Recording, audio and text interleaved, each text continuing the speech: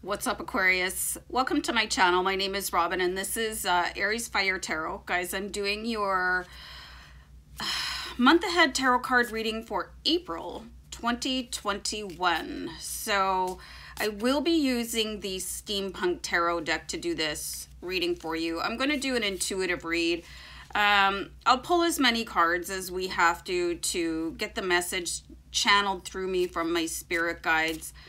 So I'm really interested to see what's going on in April because it's my birth month and I'm an Aries. So I'm pretty pumped to do these readings. I always am, but you know, sometimes a girl's got to be, you know, focused on herself. But anyway, this reading will be about Aquarius, Sun, Moon, Rising, and Venus, and any Aquarius cross watchers. And this is going to be based on the energy that comes through to me through the cards through my guides at the time that I pull the, the cards out for you.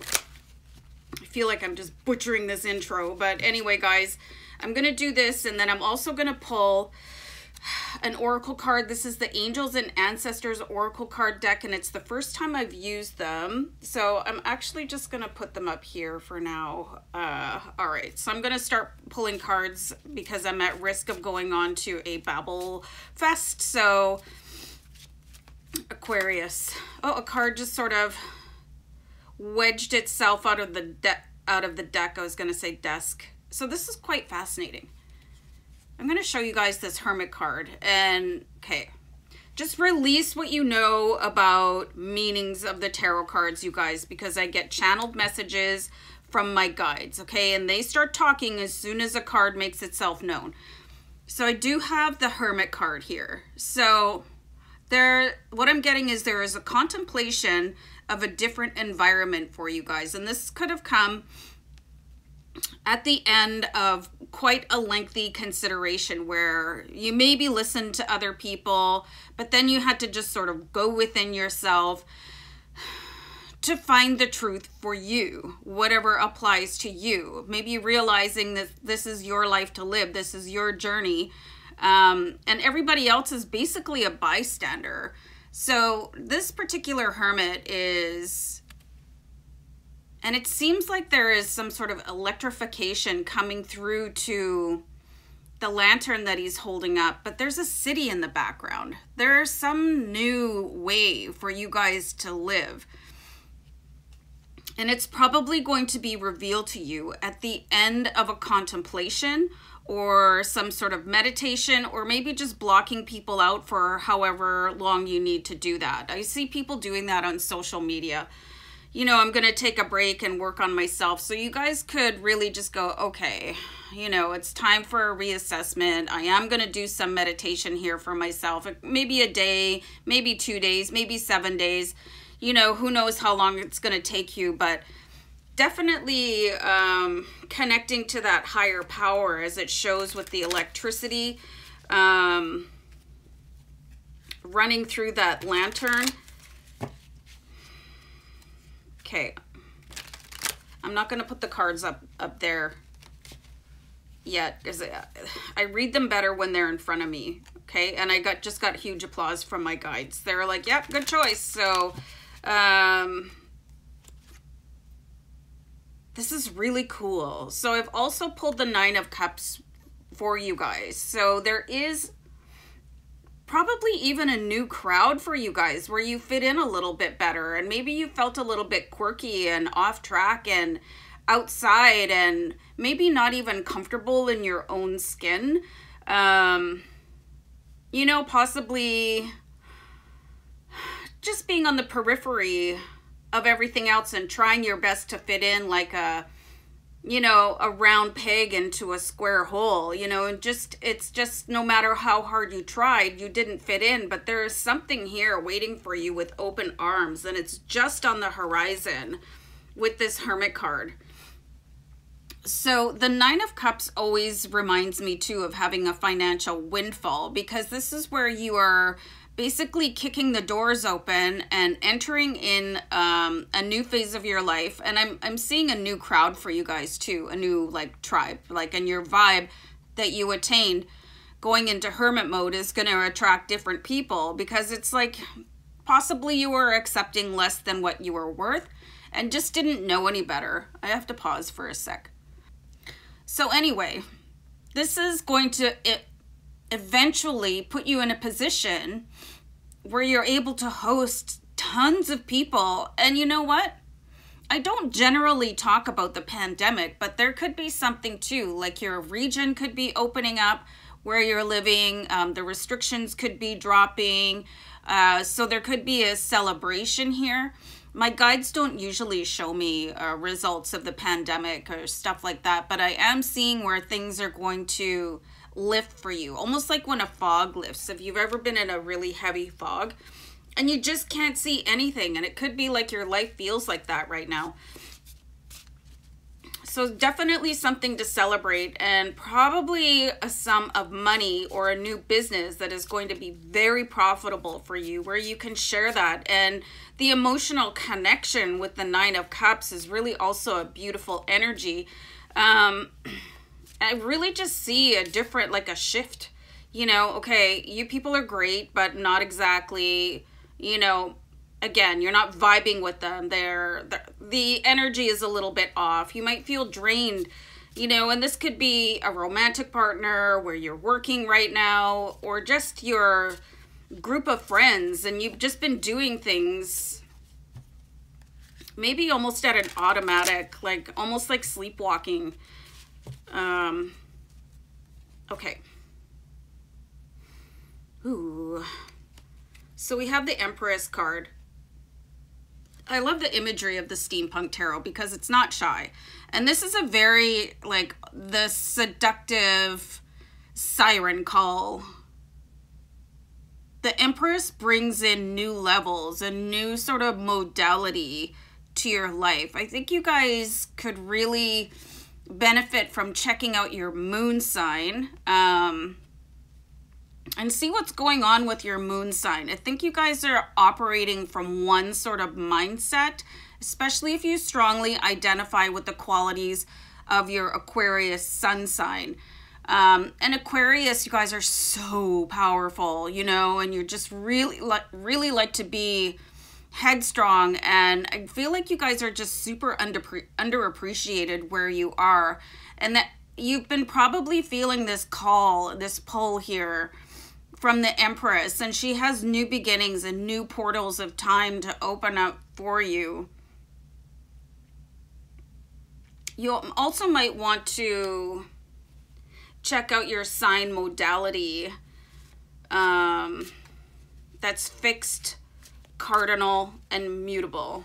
You know, to see where you are and see where you might be able to um, be more effective in your life.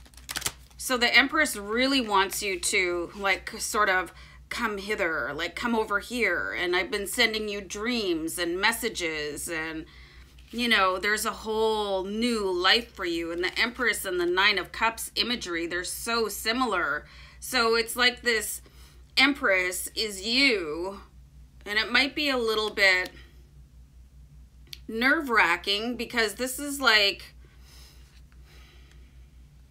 doppelganger you, you know, on the other side of the decision. It's like you might have two doors in front of you and you might constantly be choosing the more difficult journey. I'm just getting an image of where, you know, Neo has to take either the red pill or the blue pill. Um, and one is going to show reality and one is going to show the matrix. So it's like the matrix is going to dissipate in a good way. So you guys can really live your fullest life here. And this could all start for you in April. And if you start to see signs of your region opening up a little bit, I really see that as being linked to your future, okay? Um, regulations, they could be changing. And you've probably spent the lockdown or the the bulk of the pandemic um, not seeing this time off or layoff or you know separation from the collective. You've been seeing it more of a curse as than a blessing i'm gonna pull another card here you guys So you've got the Five of Pentacles. So just like I was saying there, um, you know, there was a a blessing in disguise. Okay, so the Five of Pentacles is a reminder that you might feel like you're stuck out in the cold wintry blast, but it happened for a reason. There's a lot of people that are theorizing that this pandemic is the trigger for the global ascension and i'm i'm kind of one of those people i don't want to get into that but there is a perception that um you know instead of looking at things that are going kind of wrong quote unquote in your life are there to provide blockages they're opportunities. And then this is a really cool Five of Pentacles stained glass window, and it's also giving me the sensation of sort of a magic carpet. So you could be, again, like maybe you should look at what is going on in a different way, you know, and instead of cursing what is going on, just really find a way to reinvent yourself and come out the other side bigger and better. Um, you know, and that might take hermit mode. And you could be taking on other people's energies, you know, how people can be so negative. Um, and if you're with the wrong crowd, you're probably going to follow that. But there is a disassociation in order for you to see your destiny instead of the 3D matrix destiny. I hope that all made sense. Those are the messages that I'm getting this is really interesting. So I was just shuffling the angels and ancestors oracle card. This is the first time I've ever used this deck, you guys, and you guys are the first sign I have ever pulled a card for. So this is a great teacher, and this is like, he's releasing something, you know, and it's like letting something go, and that could be the biggest teacher that you guys could ever have. Um, Learn from spiritual. I have no idea what that says. I need to find a light here, you guys. Hold on. Okay, so this is to learn from spiritual experiences. So that'll be different for each and every one of you, but you are being offered the choice, you know, red pill, blue pill. One is going to take you to your ultimate happiness, and one is going to keep you tethered to the collective that you probably don't even like that much, you know? So if you are being offered multiple choices and a chance to go off by yourself to sort of ruminate on what is going on with your life, it's the perfect time to do that. And it does look like you will be contacted by your spirit guides. Um, this really reminds me of Jesus, and he is, you know, besides being um, you know, a holy man. He is an ascended master, right? So there's a very powerful connection there. So you don't have to be super religious to connect with Jesus. Um, he, um, you know, he relates to everybody, just not a church. So there's something deeply profound here for you guys to discover about yourself. And I just got a message that if you guys have been contemplating this, it's like that door, red door, blue door, is closing quickly. So the change has to be contemplated and executed probably before the end of April. So kind of compelling and life changing for you guys. So I'm going to leave it there for you. And I hope that all made sense. Take care. Bye.